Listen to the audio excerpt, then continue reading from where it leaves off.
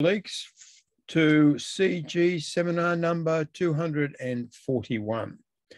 And today our topic is academic boundaries and the impact agenda for academic research. And Eliel Cohen is our presenter. I'll introduce him in a moment.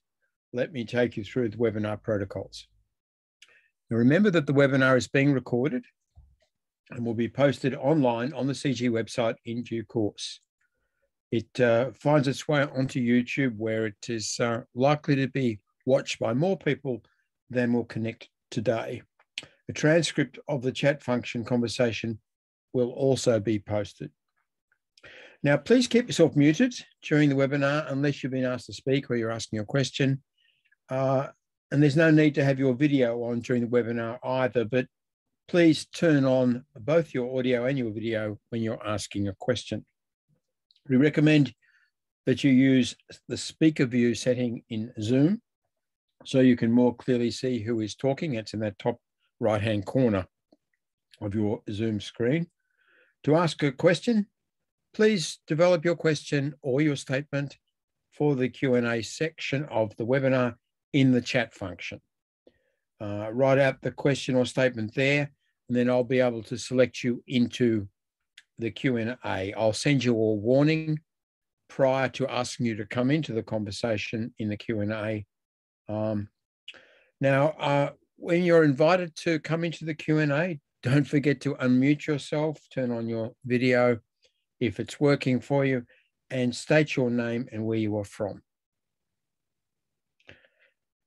Now it's my pleasure to introduce Eliel Cohen, who's been an active participant in our webinar series. Um, many occasions um, with pithy and, uh, and interesting statements and questions in the discussion. He's a sociologist. He focuses on higher education. I think you did your doctorate at the University of Sheffield, Eliel, is that right? Yeah, that's correct. Yes, under Vasiliki Papatsiba. Yeah, Vasiliki Papatsiba, who's a, a, good colleague of mine, um, is fulsome in praise of your work uh, in the doctoral at the doctoral stage. Your research interests include disciplinary identities and practices in teaching and research, sociology and politics of academic knowledge, again, a, knowledge related focus, uh, widening participation, the research teaching relationship, curriculum theory, interrelations between student agency, belonging, and well-being, and the impact agenda, which we'll discuss today in research, and critical realism in social science, which many of us, I think, are much persuaded by and, and, and, and, and engaged in as well. Look forward to your presentation, Eliel, and the uh, screen is now yours.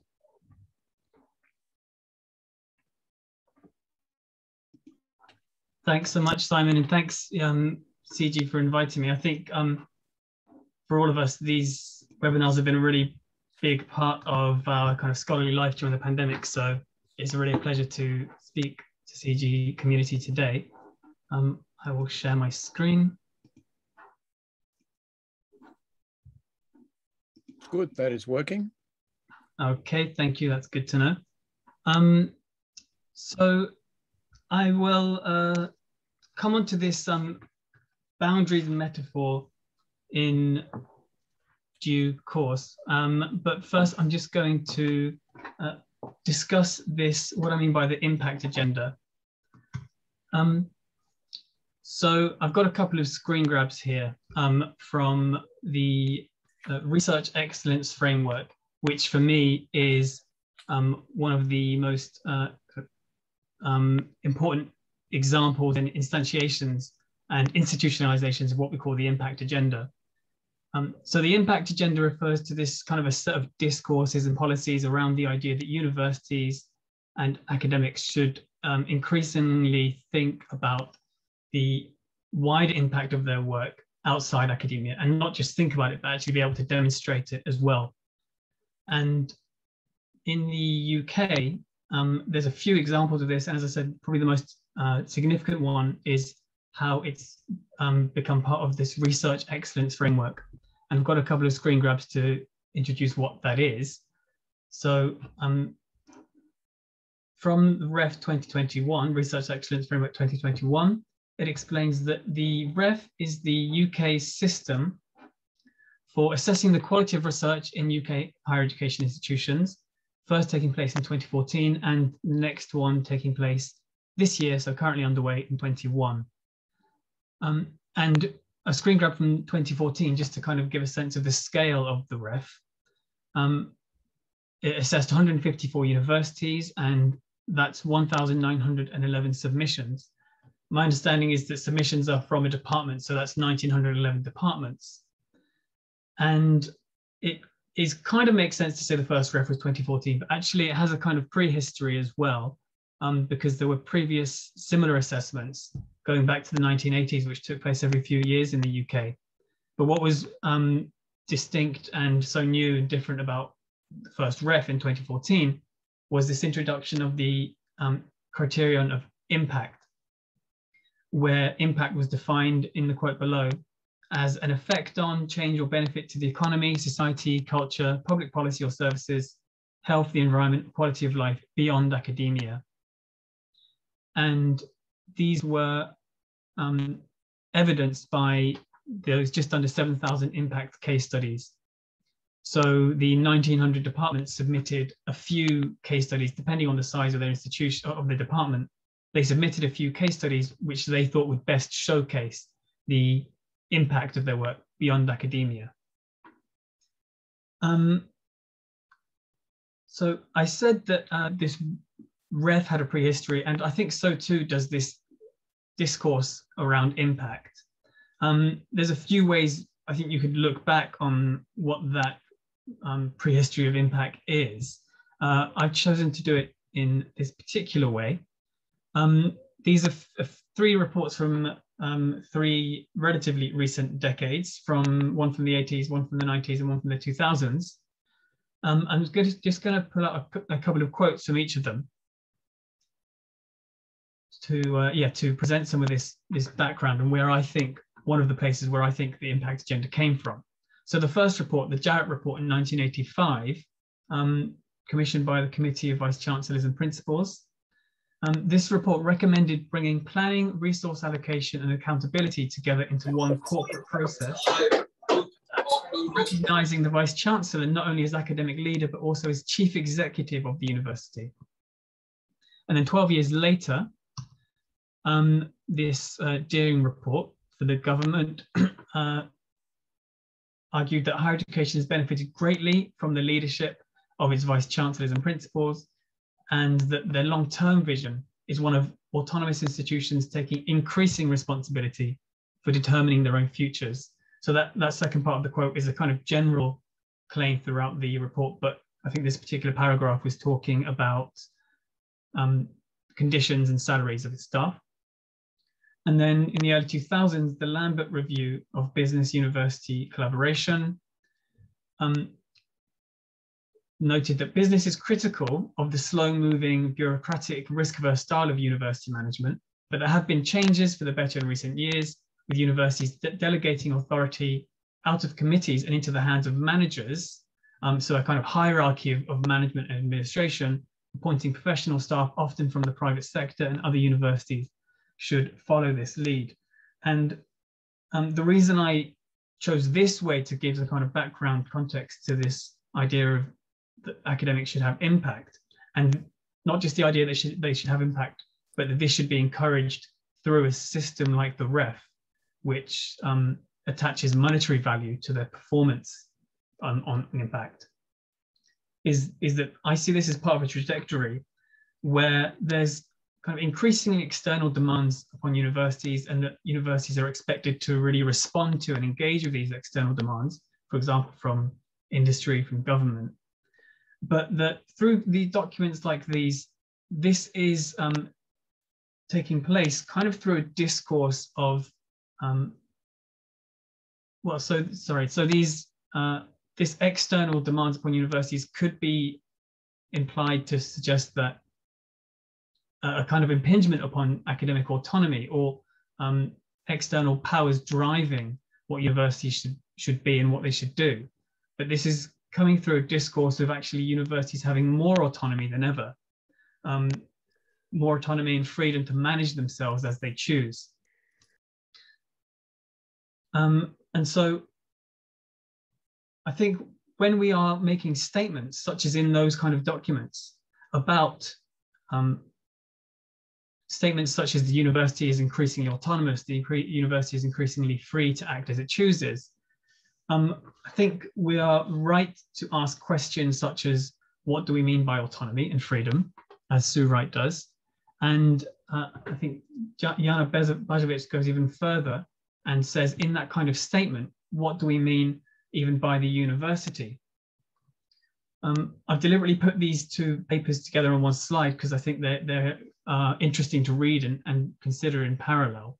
And what I take from reading them is that um, the power to define and make claims about and enact and set limits on freedom, on academic freedom, and also questions about who and what and where is the agency of universities.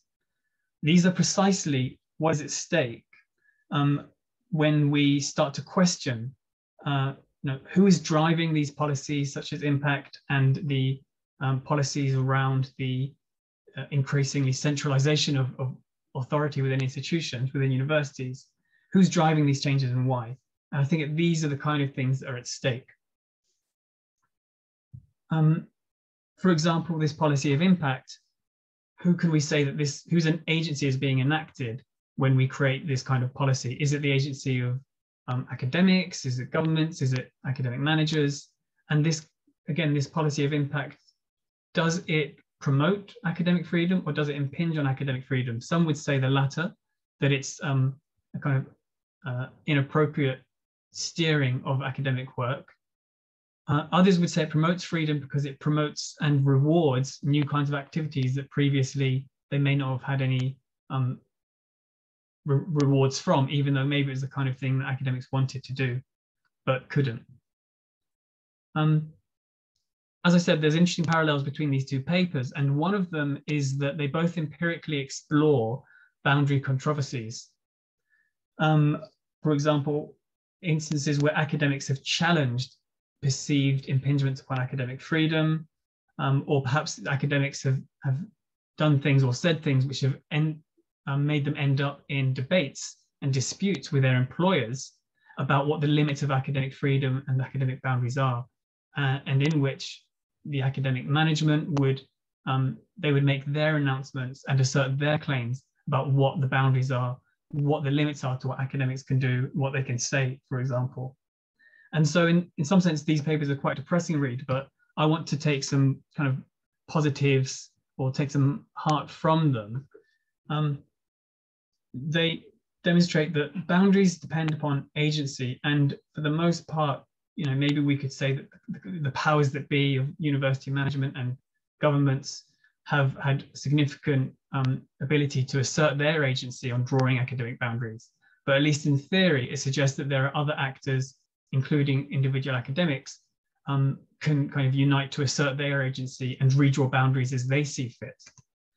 And there's also some examples in, in those papers of what Wright calls livable, livable interspecies collaboration. And it's worth having a look at that paper to kind of see what she means in more detail because it's set in the kind of ecological um, metaphors, which I think are very interesting. And these are, this is kind of what I've been interested in in my research. How is it that, um, how can academics engage in uh, boundary crossing? Because I think it's inevitable that um, the work of an academic and the work of universities does engage in confronting and crossing academic boundaries. But how can boundaries be confronted and crossed in such a way that it doesn't undermine academic boundaries? And ideally, how can it be done in such a way that actually promotes or reinforces academic boundaries so that it's kind of a positive outcome for, for everyone concerned? Um, now, the main theorist who I relied on in my work was the sociologist Basil Bernstein. Um, so I'll just give some background, not um, in too much detail, but just enough to give an insight into how I use his work. Um, for Bernstein, boundaries are grounded in power. So making a similar point to in the slide above, but boundary, uh, Bernstein goes a bit further and argues that actually power, uh, one of the main ways that power is created and asserted is actually through the construction of boundaries. So power always operates to produce these dislocations in social space. Um, and I like this quote, just making what I think is a similar point that all universities need a, and all institutions need a, some boundary creating self-conception. But also key for Bernstein is that boundaries are never absolute. Um, and again, I found this nice quote from an old OECD report, um, which says, even the ivory tower must be understood in terms of interaction, not an illusory independence. So, you know, even in its most kind of strongly bounded form, the most the, this ivory tower image of the university, even that kind of university does actually have to depend on societal relations because at the very least, it depends on um, certain segments of society seeing the ivory tower as a valuable institution which is worth supporting, even if it even if it's relatively aloof from society in an everyday sense. So um, so Bernstein kind of categorizes boundaries as devices for regulating relations. Um, relations are always there, they're always necessary. So it's not about um, can boundaries avoid all external relations, because that's that's not practical and, and it um, and not desirable, but uh, about regulating or again in his words, controlling relations. So Bernstein has this concept of power um, as closely related to boundaries, he also has this concept of control, which for Bernstein means um, refers to the forms that these relations across boundaries take. Um, and we could talk about a kind of continuum of relatively high and low control forms of um, forms that these relation takes. Uh, so for example, at a kind of symbolic level, I've already talked about the ivory tower, which is a kind of high control approach. Um, we could also, at another end of the spectrum, talk about the entrepreneurial university, which is kind of uh, signposting or signaling to society, you know, we're going to be responsive um, to your needs. Um, we could also talk about graduates um, and our students as kind of relations, because graduates take something from their academic experience out into the world. And so we can look at, okay, do they bring with them a discipline-based curriculum or a more skills-based curriculum? Um, and in terms of the research side, we could talk, we could look at are research outputs predominantly technical and esoteric and very specialist, or are they sometimes the more um, targeting lay or popular audiences or users? So I think high and low control approaches could be seen as different approaches at regulating relations um, with different risks associated with that. So um, you know, some of these high control approaches, um, they might do a very good job of maintaining control over relations, but there's a risk of losing relevance and perhaps losing legitimacy amongst wider society. Um, on the other hand, if you um, a kind of low control approach could risk losing the institution's distinctiveness and their unique identity. Um, so, you know, my, my point being that relations are necessary, and it's about how universities approach trying to regulate those relations and kind of take ownership over them such that they um, are hopefully positive in terms of re reinforcing boundaries instead of undermining them. Um, but again, without kind of attempting to close them up too much, which is just counterproductive. Uh, and so I actually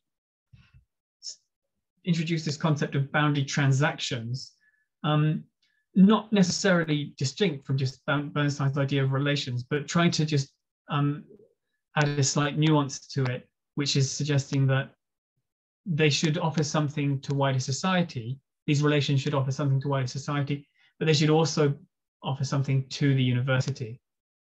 So these transactions might benefit wider society, um, but ideally they also advance academic missions or they enact academic values and identity rather than undermining them or going against them. So it's about demonstrating, it's about universities attempting to demonstrate what is distinctive about their activities, their work, their identity, but also what is distinctively valuable um, about what they do for wider society. Um, and so my study has been to try and look at boundary transactions in this context of the impact agenda that I talked about earlier. Um, and so that has meant I have selected um, research examples of research that um, the kind of research that is being privileged and prioritized and promoted in the context of the impact agenda. So my approach to sampling was first of all to, to select 10 departments that had achieved high ratings on the impact element of the REF. Um, for those who know about how the REF actually works, that means departments which achieved 100% three to four star ratings. I won't go into the mechanics of that because it's a bit um, fiddly. But yeah, for those who don't know about the REF, that just means they did well in the impact element of the REF. I chose to look at STEM only, um, so science, technology, engineering, maths, and medicine disciplines, because I was interested in capturing, uh, seeing if I could capture some nuances around the differences between similar types of disciplines. Um, but within STEM, I did capture a range of disciplines, so each department was from a different discipline and um, some other variations as well I wanted to capture. Um, it was quite difficult to get a full balance in terms of newer and older institutions. Um, so I've got seven departments were based in pre-92 universities or, or, old universities and three from post-92 universities. I also, sorry, I didn't mention here, but I've also did include departments from all four UK nations. Um, the study was mainly documentary. So I looked at 26 impact case studies. I'm going to show you an example of the, what impact case studies look like in the next slide. Um, when I looked at the impact case studies that these departments had produced, uh, I realized that some of them were from the same, sometimes there was more than one impact case study came from the same kind of underlying project. So um, there's 19 pro, kind of programs of research that I looked at underpinning these case studies. Um, the main data set for me was actually the research output. So I actually read all the, a lot of research outputs related to these 19 pro projects. Um, a bunch of other documents associated with the REF submission as well to help kind of contextualize the department and that context. And also then a lot of other web pages and kind of any other websites or reports I could find about the research or the people who conducted it or collaborated on it. And I supplemented that with 10 interviews. Um, I did try to interview someone from each project, but in the end, I couldn't manage to um, persuade uh, or recruit enough people. Um, so I interviewed 10 people in the end, but they, some of them again had worked on more than one project. So they cover 14 of the 19 programs of research that I've looked at. Um, and as I said, so here's an example of just some screen grabs of what an impact case study looks like if you've never seen one before. There's five, they normally, they're um, four, four pages long and they um, have these five sections, summary of the impact, kind of summary of the underpinning research, references to the research, and then some more details about the impact and, and evidence to corroborate it. Um, so I've just chosen an example from uh, someone at my, the, the department I was at during my PhD. So as I said, I was interested in this idea of boundary transactions and um, the forms that they take. And in my study, I identified and kind of distinguished between five forms of boundary transaction. Um, I, I, think there's some blurring between these and overlaps between these, and also other ways you could uh, break them down. So if it was a bigger study, I might have identified um, different types or broken them down in different ways. But um, these are the main ones I identified. So the first one, um, and most frequent one um, in my sample was boundary structures. So things like um, structures which try to uh, sit between the university and wider society. Um, boundary spanning, so that's anyone kind of amongst students or graduates or staff who move between academic and non-academic contexts. Outreach, I've defined here as kind of participation in networks with potential users or sponsors, beneficiaries. Um, collaboration, I've defined here in terms of, um, I've distinguished collaboration from other transactions in terms of do they actually engage in co-producing the research with non-academics? Um, and then user-focused outputs. So this really depends on the audience. Um, I think really any output could or could not be considered a boundary transaction depending on how it's written, how it's presented, and who the target audience is. Um, so this, I, I, consider this quite exploratory research in the sense that it's a small sample. It's not about necessarily uh, generalizing from what I find here, but about exploring this concept of boundary transaction in practice and seeing how it works and what we can learn from it. Um, so I'm just going to give some examples really of, of what I found these um, boundary transactions doing. Um, so the first one is an example of a boundary structure. So I identified industry consortia in two different departments. Um, what I mean by this is where industry, uh, where businesses will pay a membership fee to participate in setting the research agendas of departments or, or particularly units. And there's a couple of examples here, and they give an interesting um, distinction between how the same boundary structure can operate as a kind of lower or higher control um, approach. Because um, there's very lot of similarities. The first one was in chemistry, more kind of chemical engineering. The other one was in um, engineering. Um, both in a similar industry, private sector utilities, both, as I said, have industry consortium, but there were some differences um, where in one case, recruitment was very, a very long process, took a long time and a lot of effort to recruit industry members. And in the end, they, um, I would argue, ceded control by appointing an industry scientist as a professor of the university, somebody who had always been in industry, appointed them as professor in the department and co-director of this consortium to leverage their networks and recruit members.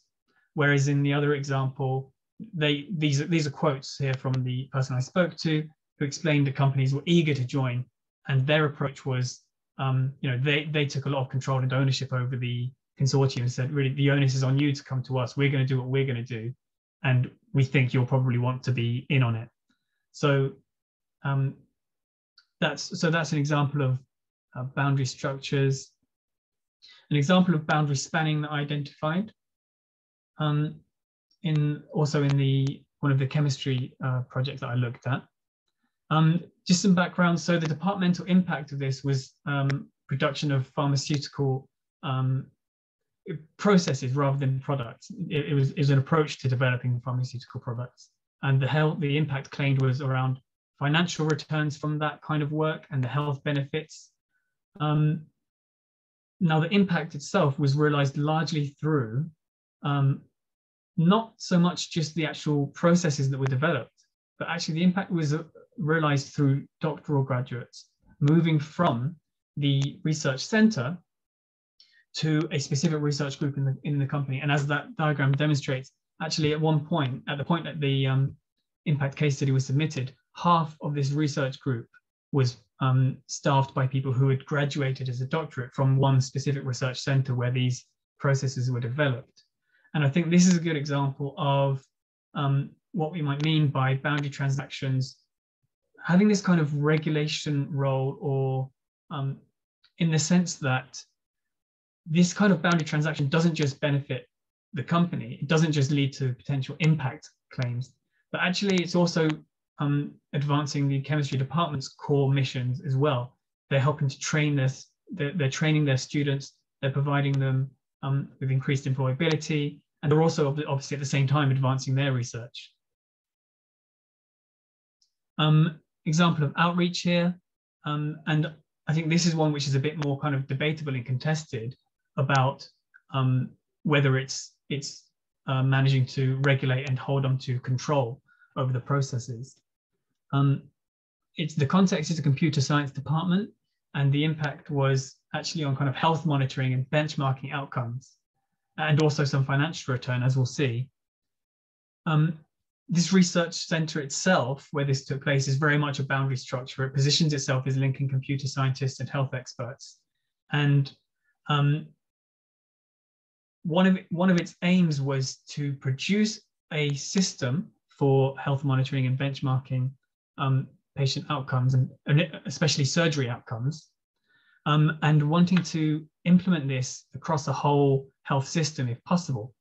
And one of the big things they needed to do was um, outreach was a very significant was basically networking was a really significant part of the work that had to go into it and two very different types of networking on the one hand um, networking with professional bodies to try and promote uptake of their um, system in hospitals um, but also venture capitalists to digitize and commercialize this monitoring system um, so it became a profit seeking venture as well. Um,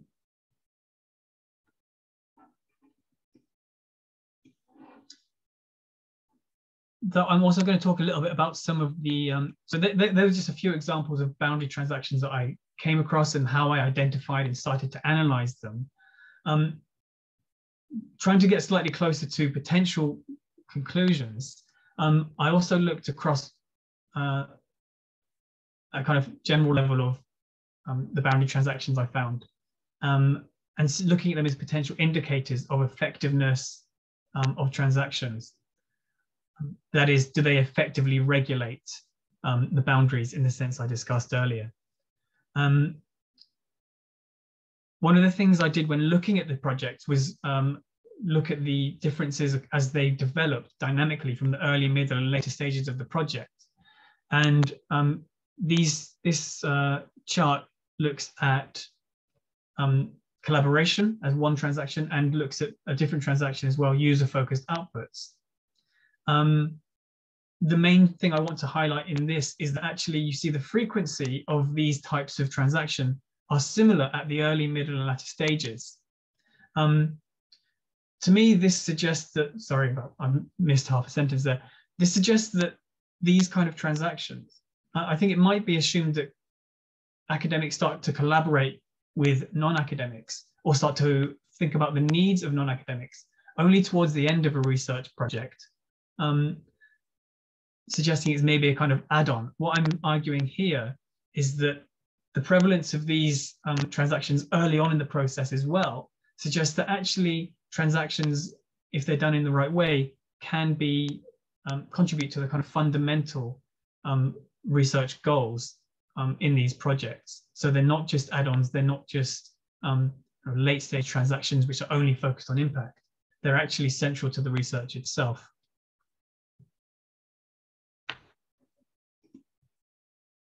Um, another way of thinking about are these transactions on a whole um, suggesting that they are effective forms of regulating boundaries is to think about the actual functions that these transactions play. So um, I'm talking about three transactions in this chart, um, boundary structures, boundary spanners, and uh, outreach, and asking, you know, did these forms of transaction only perform one function, i.e. have the impact function, or did they also simultaneously contribute to other um, of universities' core missions, for example, research um, or teaching?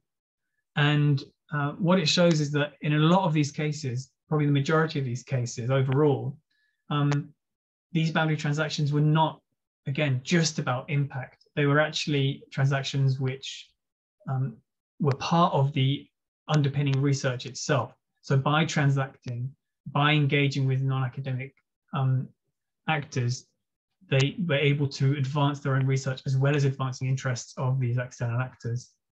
Um, and as you can see, different boundary transactions were able to do that to different extents. So it kind of suggests to me that they are, that academics are able to retain control over the transactions. They're not just um, kind of being forced to interact, but they're actually doing it partly for their own benefit as well. Um, again, kind of going down this line of exploring potential conclusions we might start to draw from this line of analysis is um, looking at how these things vary by the departments that I studied. Um, I, uh, I tried to identify different kind of levels of prestige amongst departments. It's not easily done. Um, you know, it's, it's a contested thing to look at, but I looked at not just um, the prestige of their institution, but also how highly a department had been ranked in other things, including the REF. Um, and one of the things I found that departments which seemed to have indicators of being more kind of prestigious or more elite um, did actually have quite a big difference in some of the boundary transactions that they engaged with.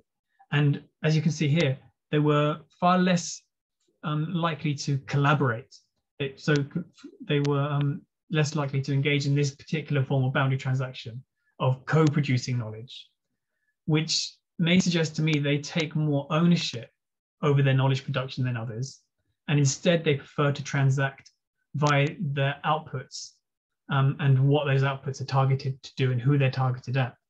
Um, so yeah, quite an early stage conclusion and not really enough data to say it firmly. But this kind of analysis may indicate that certain departments have a greater capacity to control and regulate their boundaries. Um, and, and another um, bit of variation here, this time by branch of science. Um, what I've looked at is how often were the external collaborators um, themselves scientists or were they actually people without academic backgrounds? For the most part, all of the external collaborators in the studies that I looked at were themselves doctoral graduates. Um, and this was particularly this was particularly the case in formal sciences. So, for example, computer science and maths and engineering, and far less so in the life sciences like biology and environmental science. Um, and this did seem to have an effect. Uh, I've called it low cost transactions. Or, or again, we could maybe say that um, in formal science, they were somehow better able to control their transactions and were less, um, found it less necessary to go outside their comfort zones, if you like. Um, so here's a quote from one of the people I spoke to. Um, explained that most, if not all, of the particular group we worked with had PhDs, so they would understand the university and the mode of operation. Um, another person I spoke to from the formal sciences, I think the challenges of working with industry are manageable. I don't find any issues. Um, I simply didn't get that kind of quote when I was speaking to people in the life sciences. That I don't have quotes prepared here, but it was all about challenges with engaging with disparate types of people from all different types of backgrounds. Um, so uh, kind of summary rather than conclusions, because I think conclusions would require um, ex expanding this data set really. Um, but from what I've seen in the studies I looked at, academia does and often can control um, its boundary transactions, and in that sense seems to be able to regulate its boundaries through the research um, that they conduct. Um, but even symbiotic relations may advance interests unequally. One of the things um, that I found was that these boundary transactions, especially in the formal sciences where you're talking about people who, uh, external people are full of uh, themselves doctoral um, graduates, um, these boundary transactions are with governmental bodies, large industry, and therefore it does um, raise the question of, okay, what about, uh, I think especially what about the kind of research that doesn't get valued and promoted in the context of the REF. Um, I think there's definitely obviously a kind of selection effect whereby I've, my findings have been influenced by how I sampled, obviously. Um, and so it raises questions about um, which, which external power actors have power to collaborate with universities and to receive and engage in transactions with universities. And as I, as I showed in the last few slides, there's evidence that some departments tend to have to cede greater control over their research and their transactions. And um, as I said, some of these um, seem to reinforce sector hierarchies in the sense that they, they map onto um, different kind of indicators of prestige of department. Um, and okay, I didn't actually go into this as much as I thought I might, but um, I did a little bit talk about the role of PhD students in this. And this is another issue which I think has emerged, which is um, that as the impact agenda becomes more um, essential to the work of academia, um, it actually starts to put that onto students themselves, um, because students are not the, no longer just there to be taught or made employable, but actually to contribute to academia's um, impact assessment.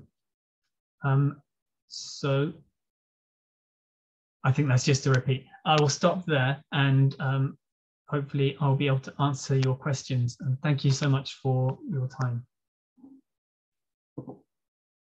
Thanks, Eliel. And how interesting this terrain really is, you know, because it's about such a substantial uh, connection between universities and research and the rest of the world. And, you know, the intellectual problem of, of tracing how knowledge, you know, connects to everything else, how discourse uh, relational discourse in academic world connects to other human activity.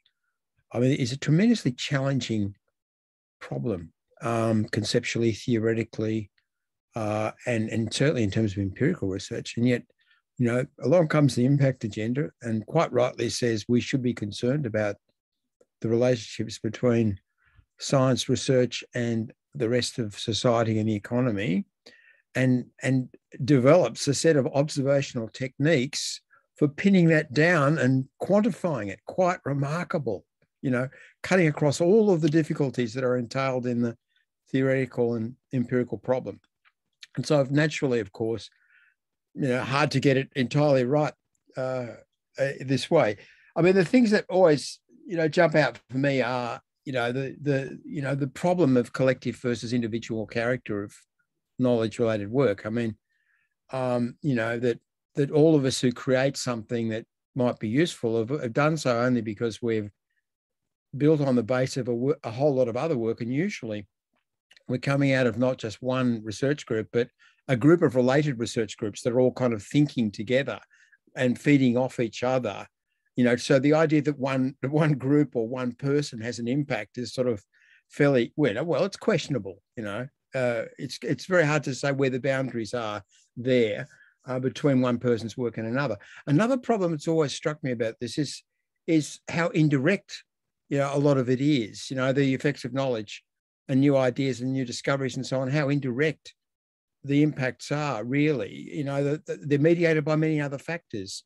They often go through several stages. There's often long time lags before knowledge becomes relevant in practical ways, like creating new products and so on. So again, you know, got one process, you know, which which which is sort of temporarily, um, in temporal terms, quite, um, I suppose, monocultural. You know, it doesn't really capture these different variations in terms of lags and indirectness versus directness and so on. Um, but I think the biggest problem for me is the empirical problem. I mean, you know, we can say there are a lot of things where we in in life where we can say in society where we can say there are causes and effects, but we can't easily observe them. We can't easily observe them in a comprehensive way that sort of captures everything about the cause and effect relationship that's going on. Uh, and, and so we're reduced to these kind of proxy observations, like you know, the impact of, of, of research on policy. I mean, what's the testimonial? Unless there's a unless there's a a piece of legislation where the minister got up and said, "We are pushing forward this piece of legislation because of research by doctors X and Y." Um, unless that's actually there, uh, you're sort of reduced to making rather general claims, um, and and and and and and in the end, dependent on testimonial letters you know, which are probably about as authentic as references are, you know, a grain of truth, but a lot of exaggeration goes on. So, you know, there's, the, the, sort of the empirical proxies are, are, I reckon, pretty problematic for, in a lot of cases. And it's not because people are liars or they're making up stories about their research that aren't true. It's because it's really hard to demonstrate empirically. Um, so your thoughts on that, that, that scattered set of points before we go into the Q&A where, where we've already got um, uh, for substantial contributions coming through. My thoughts on that. Um, uh, I think, I think my main thought is that for those very reasons, I didn't exactly try to set out to make claims about whether the impacts claimed were actually well substantiated. Um, so I think that's my main response, only that it is that complex, and I wouldn't uh, try to argue that, yeah, whether those claims are substantiated. I did come across several instances, in fact, where that kind of um, link in legislation was there. Um, so that it, it did happen in a couple of cases that I looked at. Um, but yeah, reading through these impact case studies and, and seeing the constructed narratives around these you know pathways to impact is, is the word people use um, was a really interesting exercise and what's also interesting is uh, other times when i presented this research i don't expect i'll get it today but other times i've presented this research has resulted in questions of uh, you know how do i write my impact case study which um, is not my job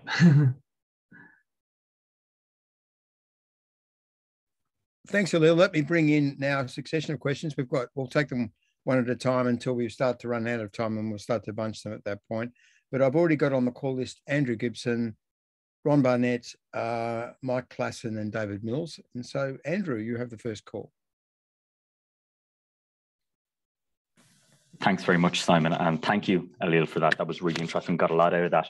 I'm going to put you on the spot a little bit and ask you uh, you did STEM, you're looking at STEM, but if you were to look at humanities and social sciences, what would be the kind of things you would be looking out for, or would there be anything you would change?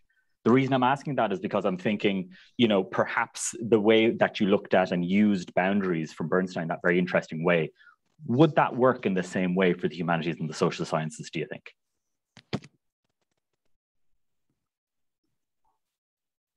Um, I'm inclined to think it would. Um, so I think there would be some very different things. And I, I, I, think, but I think that some of the findings might actually be quite likely to be the same when we look at, for example, um, I looked at some of the kind of, I, know, I noticed some of the differences between, say, the formal sciences and the kind of life sciences. So uh, I, I, can imagine a similar finding mapping onto these kind of mathematical social sciences and those which, um, and social sciences or humanities which uh, engage with uh, people on a more uh, qualitative basis. I can see that kind of finding being quite similar. Um, for example, the boundary transactions of the formal sciences and social formal social sciences or mathematical kind of mathematical social sciences might lead them to interactions with um, other professionals with a very similar skill set to them. For example, in I'm thinking maybe think tanks or people in government. Um, whereas I can imagine in the more qualitative social sciences, some of the transactions might involve uh, collaborating with um, different types of professionals, let's say, I don't know, for example, social care workers or um, uh, you know, people, maybe people in the community. Um, there was some of that in what I in my study. I, I, didn't give every example, obviously, but there was some examples of um, direct community engagement. But um, you might expect to find more of that. So I think when when you look at when you talk about it in terms of certain parameters, yes, you might find some similar findings. Um, maybe also in terms of differences when we talk about the prestige of the institution again that might be something where there's a difference between um, you know more research intensive and more teaching intensive institutions. I can imagine a similar kind of finding um, emerging there. In terms of the actual content and the processes um, yeah i'm sure they'd be very different. But i think just going back to what i said earlier sometimes i was quite surprised um, at how in depth and almost qualitative some of the work was that I was coming across in this, in the STEM stuff. But yeah, of course, it would be different. Um, it would be interesting to look at. Thank you. Our second question is from Ron, Ron Barnett. Hey, well, that was tremendous, if I can say so. I thought it was uh, absolutely fascinating and a very strong theorization brought together with empirical work. So, uh, tremendous um, piece of work you're doing there. I, I, I, was struck, first of all, by your definition, the definition that you offered us right at the start of impact. And given that as a context to what my question is, I want to ask you this. Uh, do you have any recommendations for those who are working in the field of research into higher education? Because your, in, your, your definition that you started with set up a very strong boundary between higher education on the one hand and the world on the other. And it said that impact was only going to concern, as it were, the world outside of higher education. But you had an example of impact drawn from your Sheffield, the Sheffield study on higher education and further education. So I'm wondering how this, how your, your, your theorization and your categories of boundaries and transactions and so forth uh, can play out so far as research into higher education is concerned. Yeah, I think that's a really, um, thank you firstly so much for your really kind words, Ron, thank you. Um, but yes, uh, the question, I, I think um, so in in that case, uh, for example, in uh, the Sheffield case, which was um, the, the, kind of main researcher on that was Gareth Parry, who is obviously associated with CG as well. Um, so that that was permitted because the effect, the, the impact was on policy. It was the so the, the impact was claimed to be on um, national governments, governments and local governments policy, which yes happens to be on university. So in, in that sense, you it, it's it's possible in that sense. Um, and if if you look at some of the education, um, you know, not just higher education, but actually education as a field, um, yeah, there were some examples of impact. Obviously, I didn't look at education for this study, but I've looked at it uh, in, in other work um, with my um, colleague and former supervisor Vasiliki. Um, yes, you have to be careful about what you claim if your impact is anything to do with pedagogy, because you can't talk about impact on your own students. Um, you would have to argue that um, your impact was across the sector more generally, so that somehow there's a uh, there's an outside world called uh, pedagogical theory or pedagogic practice, and you influenced that, which in turn influenced on the ground teaching in different universities. So it's it's a bit tricky. They did kind of allow for it within the context of that panel of assessors in the education department, uh, education um, uh, REF assessment. But it's, I mean, I've got one one of the people in my one of my participants um, straight off the bat said, you know, it's an odd and iniquitous detail that you can't include impact on your students as impact because you know he is a research professor was also passionate about teaching and thought that that's the biggest impact he has was on teaching.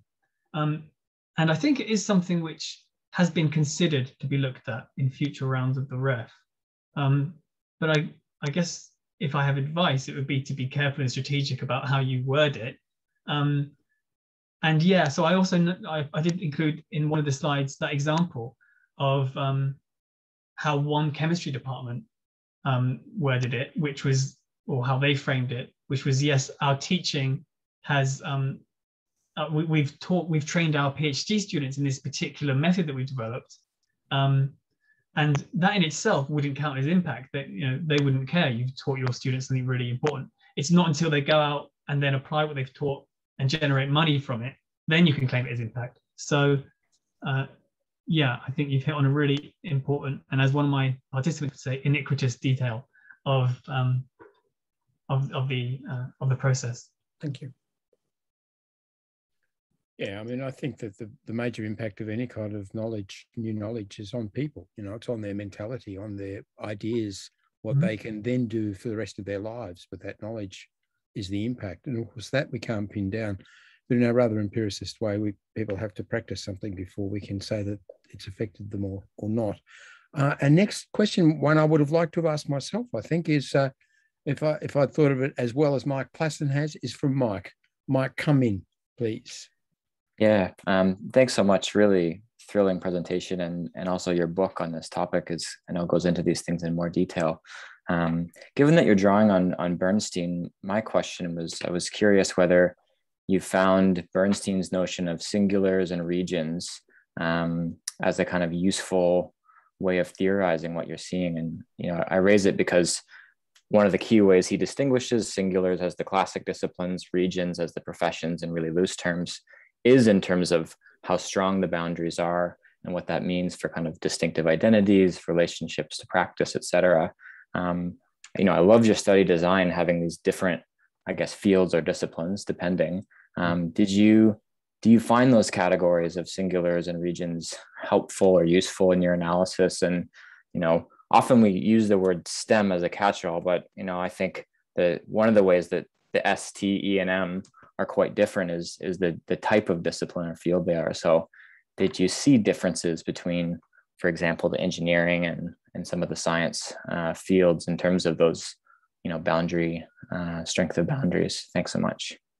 Thank you. Yeah um, and thanks for plugging the book as well. Um, so uh, i chose not to um, include uh, and, and, even even in the thesis which is obviously you know the, the longer piece of work because this is based on my doctoral research um, i didn't really go into those particular that particular terminology of bernstein regions and singulars um, and um, just for people who uh, are interested but don't necessarily know Bernstein's terminology, regions being um, uh, singulars being kind of fund, you know, basic or fundamental disciplines like um, maths or or physics, and then regions being more kind of practitioner-oriented ones like medicine and engineering. Um, the reason I didn't go into too much depth about that initially was because I think, especially because I was looking at research which had had an impact. Uh, sorry, which had which had rate, been rated highly for impact. You're getting a level of um, such self-selected research that you know it does, it does kind of break down those boundaries. For example, I wouldn't necessarily say you know the, the physics. For example, I looked at one physics department, and that was more or less engineering. Um, and the chemistry research I looked at again was more or less engineering um, for, for, for, for a lot of the parts. So it's um, it was kind of hard to sustain that if I did bring those concepts in. Um, it would probably work if you did a bigger study and you hadn't selected it in that sampling way that I did.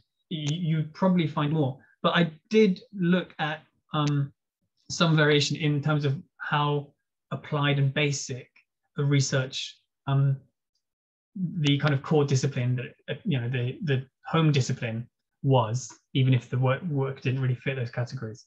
Um, and the answer is I did find some um, difference, but it was a bit more slight and nuanced, which is why I didn't include it in this presentation.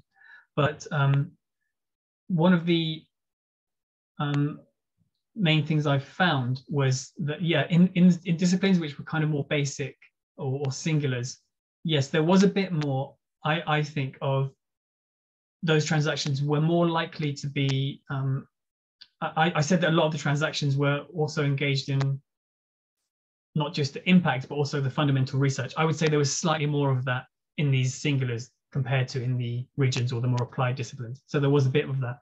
Um, I think what was more interesting was these disciplines in the middle, such as um, like environmental science or, or um, earth sciences, which are kind of in the middle between basic applied, some of those um, were actually the most distinctive. And, and in some ways, they were actually some of the more, they, they acted more like singulars than the so-called basic disciplines in my study. And yeah, that, that takes some detailing and evidence. So maybe we can talk afterwards.